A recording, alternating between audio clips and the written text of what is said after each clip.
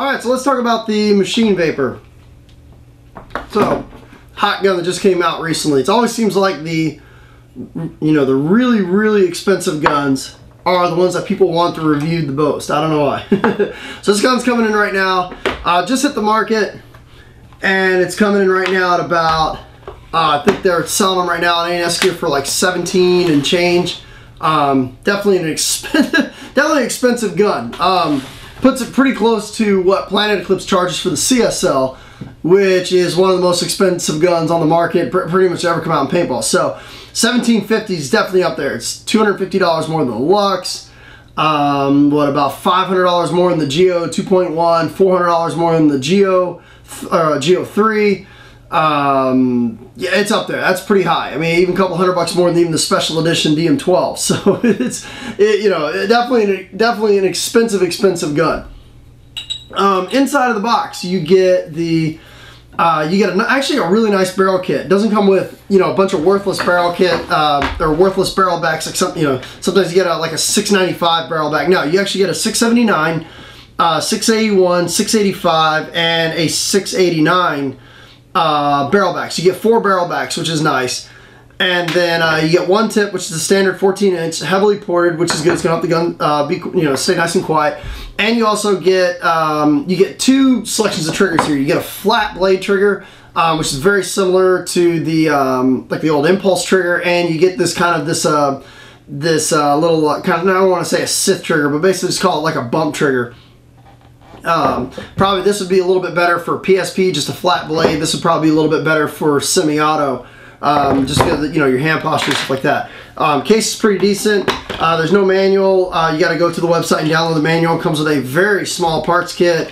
Um, just some basic, basic Allen keys. Uh, they're not even ball socket Allen keys, and you get a sticker. So, um, you know, packaging, uh, I think for this price range, they need to go a lot harder on the packaging. if, if, you're going to be charging $1,750, I'm going to expect a full color manual in here. I'm going to expect a nice parts kit. Um, you know, at least to what they put like in the DM12, you get a nice uh, parts kit with uh, multiple parts, not just, you know, I, I you know, in, in my opinion, if, if they're going to charge this much for a gun, um, you know, Ziploc bags, this is unacceptable. I mean, this is just absolutely unacceptable for a $1,750 gun. So, um, you know, Allen keys, I would like to see a nice, you know, Allen key set. I mean, if Dangerous Power can put a decent Allen key set in their $300 guns, you know, we, we definitely should be seeing a nice Allen key set in a $1,750 gun, you know, and, and uh, you know, a, a little uh, Ziploc bag with, um, you know, a couple springs, and it looks like here, four O-rings and two detents unacceptable for a $1,750 gun. Absolutely unacceptable. So, you know, it is nice that you get the barrel kit, and it is nice that you get the the trigger, okay? Um, you know, if you figure, let's let's figure, let's just put this right out there with the DM12 and the Geo. Okay, so let's say we're gonna we're gonna put price this right at like a $1,300 gun. Okay, barrel kit, a good barrel kit would run maybe what 100 $150 uh, that's anodized to match your gun, and an extra trigger would run about what 50 bucks. So you know you are looking at about an additional $200 worth of value for the barrel kit and the the trigger. So, um, but let's go ahead and. Uh, let's go ahead and get into some basic maintenance really quick and then we'll take it out and do an efficiency test and we'll come back for the conclusion. Alright, so let's go ahead and um, let's go ahead and weigh it. Now you'll recognize that board. That's the same board that's in the um, uh, and all you know, a lot of the dangerous power guns. It's in the FX. It's in the Revi. Um, that uh, that that OLED board um, was pretty much made famous by the uh, dangerous power guns. So also you can see it's got the laser eyes. So let's see what we're weighing in here now. So it looks like just under, just under uh, two pounds. So one pound, 15.6 ounces. So uh, sneaks in just under two pounds total. So let's go ahead and take it apart. Now you're gonna see when you take this gun apart, uh, parts, the the bolts, the bolt system. It's now obviously it's a little bit different, but very very similar to the, um, you know, very similar bolt system to the Shocker, the Lux, the FEP Quest, and also the um, uh, and also the uh, the Vanguard Demon. You know, you see, you're starting to see this uh, this stem design a lot. You know, obviously the difference between that, you know, this and shocker, you know, the shocker had the O-rings in the middle. This is more towards the back. Um, so, you know, same thing with the Lux. Now Lux is using a spring, but, um, you know, you, you see, you're starting to see, you know, this type of stem design. Now, here's a tip too. If you're about to buy a gun, you know, go download the manual and take a look at the parts inside the gun and see what it looks like. It's going to give you a really good insight as to how the gun shoots and stuff like that, you know. So, you know, if it's got this type of uh, this type of bolt design here where it, you know, slides forward on these, you know, on this little bolt stem, you know, well, what other gun shoots like that? You know, you've got the Lux, so it's going to shoot like a Lux or a Shocker or an uh, FEP Quest or a Vanguard Demon. You know, for the most part, the efficiency and everything is going to be pretty close to the same. But uh, bolt is very simple, three pieces to it. And, um, you know, there's not much to, you know, taking apart this bolt and clean it off. One thing I do like is that the, the bolt has a flat tip face, you know, and that's really nice, especially nowadays with paint being so inconsistent. You could one day you could be shooting 689 paint, the next day you could be shooting, you know, 675 paint. But having a flat face bolt like that always lines the um, always lines the ball up with the with the eyes and the detents and prevents that rollback. You know, if you're tilting your gun up and you're shooting, you know, a high lane or something like that and the ball rolls behind the eyes, you know, prevents all that stuff. So definitely good on them for uh, making a flat face bolt. And like, you know, like shockers and stuff like that, it, it does like a pretty heavy helping of lube. Now, the machine gun, the machine vapor does come with its own lube. Looks like a Dow 33. Um, it, it, definitely does like a lot of lube on the O-rings. Uh, inside of the bolt. So, as you guys saw in the video, I was having, you know, I had problems with the gun with a lot of drop off, and pretty much the biggest reason why was because I was getting vapor lock inside the gun, and um, vapor lock. Um, you know, I was getting um, you know airlock inside the gun, and the bolt wasn't cycling all the way because uh, you know I didn't have enough lube on the O-rings. Go ahead and turn this off real quick. Now I do like the board that comes with the vapor. The the you know the dangerous power FX and also the Revi. I mean the board is a little overcomplicated. You know, so if you've got some time, you know, you could definitely mess around. It's got some really cool features, select fire, cheater modes, breakout cheater modes. Um, it's got all sorts of stuff. You can cycle between different modes from, you know, Millennium to NXL to PSP to semi-auto all by just tapping the power button. So it's got some really cool features and some really cool modes. Um, taking apart the regulator, you're going to need a, I believe this is a 1.5 millimeter Allen key. So uh, you're not going to be able to use a standard Allen key when taking apart the, uh, the regulator. So just be ready for that.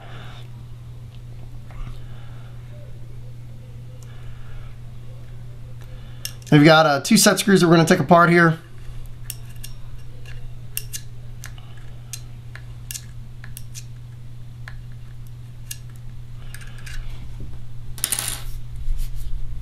Okay, now let's just go ahead and unscrew this from the you don't necessarily have to do this. You can you know you can leave the reg attached to do the basic service. But um, now what we're gonna do is we're gonna just uh, unscrew this bottom piece here. Now if it's a little tight, um, you can take a pair of pliers and just gently grip it and start unscrewing it. But, you know, you don't want to go super, super tight when you put this back together again. You just want to go, you know, just snug just enough because you don't want to, you know, really scratch that part up when you take it apart. There we go. And there's pretty much your regulator. Uh, so not much there. Um, you know, you can take yourself, like one of my favorite things to clean guns up with is, uh, you know, the Kingman 50 cal swab. You know, go ahead and clean up if you see any dirt inside there. Uh, wipe this down with a, you know, with a towel. You know, on the regulator, you can pretty much get away with using whatever lube you want, but I did notice with the, uh, the bolt, you definitely want to use a thicker lube, just like you would if you were lubing up a shocker or uh, something like that. Thin lube, you might get, uh, you might get some air creep and it might cause the gun to shoot a little bit bizarre. Okay, so let's go ahead and put this back together.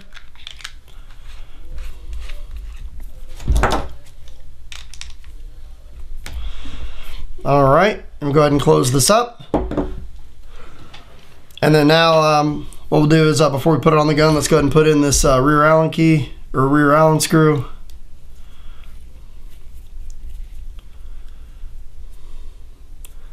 Now when I was out there, I mean the reg is nice. It, it's you know it's not a super sensitive regulator in that um, you know it only takes like a eighth of a turn and all of a sudden your velocity jumps 80 feet per second. It's it's it's very uh, easy to get the exact velocity you want to get with the regulator. So the regulator is well designed. I believe it says in the manual from the factory it comes set at like 160 or 180 psi. So, and there you go. So let's go ahead and put the uh, the bolt back in. There you go. So we've just uh, taken apart and um, did the uh, maintenance on the gun. All right, so we're gonna do the efficiency test on the machine vapor. So let's go ahead and show you the tank. So it looks like we're just over 4,300 uh, 4,300 psi. Let's go ahead and take a um, tank temperature reading. Looks like the tank is registering at about 100 and 106 degrees. Hopefully you guys can see that. 106 degrees. All right, let's go to the chronograph.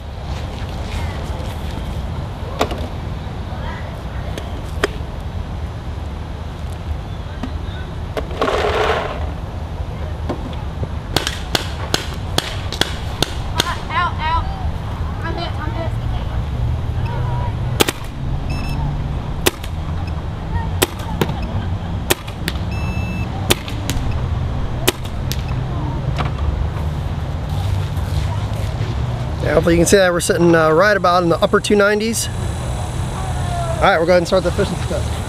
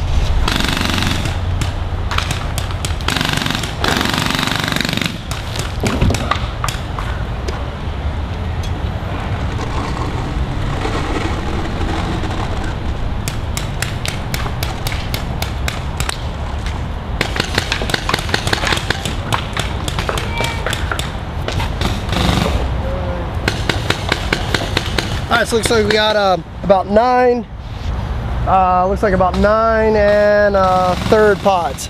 Thank you. All right, so let's wrap up the machine vapor review. Um, I, I don't, you know, lately these com- these new companies that have been hitting the market, you know, charging these, you know, huge amount of prices for these untested, untried guns from brand new companies, man, that scares the hell out of consumers. I know it scares me. I, I'm real hesitant to drop you know, that kind of money on a gun. You know, pay seventeen hundred and fifty dollars on a gun that nobody I know owns. Uh, the company's brand new, no idea if it's a good gun, if there's problems with it or what. Um, I think, sometimes these companies shoot themselves in the foot with that kind of. Um, I know they got to recoup the cost of bringing the gun to the market and stuff like that, but um, that's a lot of money. so, um, you know, with that, with that being said, you know, overall in the gun, it, it- you know, in my opinion, at seventeen hundred fifty dollars is a gun overpriced. Yeah, I think the gun's a little bit overpriced. Um, you know, you're not getting, with the exception of the barrel kit and the extra trigger, you're not really getting anything out of the box that you wouldn't get with. Uh, you know, either a Lux or, you know, Geo DM12, something. I mean, yeah, you get the OLED board, yeah, you get the extra trigger, yeah, you get the barrel kit, but, um, you know, for seventeen hundred fifty dollars, there's some things I would like to see a little bit done a little bit differently. Um, one, the trigger. Um, one thing I noticed with the trigger is there's no post travel. Okay, now I've got a problem with that because if you set this trigger up improperly and you put your activation screw too far back, if you know if you're like me sometimes when you're about to run and you dive into the stake if you squeeze the trigger really hard you might you know damage your micro switch because you might drive your screw through your micro switch. Now i know there is a little there's a little stop in here. Once you pretty much mash the micro switch you know pretty much into you know that flap that micro switch flap flat um there is a metal stop here that does stop the trigger but if you set this trigger out you know, quite a ways to where it's more at an angle, you know, there is a very good chance that you could drive your screw through your, you know, through and into your micro switch and damage your micro switch. Okay, there's, you know, for $1,750 gun, there should be a post travel screw on here so that you're not relying on your trigger mashing up against your micro switch in order to stop the trigger. Okay, and just having that adjustability for a gun this expensive is definitely, you know, is definitely you know, not out of the realm of asking for it if you're dropping that kind of cash on it. Something else too I noticed with the trigger, I would like to see this trigger have extended inner raceways on the ball bearings. Okay, what that's going to do is that's going to prevent the trigger from rubbing up against the uh, rubbing up against the inside of the trigger frame. And it's not that big of a deal when you're in PSP. Okay, in PSP, it doesn't matter what the trigger feels like because all you got to do is pull it, you know, pull it five times a second. But if you're shooting semi-auto and you're looking for the maximum amount of trigger speed possible, you want, you know, you want your trigger to be an amazing trigger. Okay, you don't want to feel any grit or drag or or scratching on the inside of the trigger frame. And unfortunately, with this trigger, I did feel that. Now I do know there are set screws in here. You know, you can adjust a little to the left, a little to the right. You can try to get your uh, trigger centered perfectly, but you know, you when you're getting on the trigger, you definitely can feel, even with it set as perfectly as you can get it, you can feel your trigger rubbing up against the inside of your trigger frame. And it's not a good feeling for a gun this expensive. So, um, you know, other than that, I, I do like the way it feels in your hand. I know for me, you know, being you know six foot four, I do like the the the meteor uh, trigger frame. You know, the the trigger frame here, the grip frame. I love that. The uh, I do like you know how the the reg sits in the front. It's it's it's very comfortable. It's easy to wrap your fingers around. There's nothing really crazy to catch your hands on.